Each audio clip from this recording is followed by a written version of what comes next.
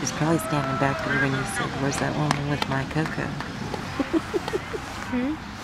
She's probably standing back there when you said, Where's that woman with my cocoa?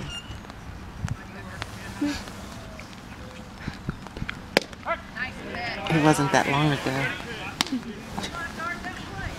I just don't have a place for my bun now.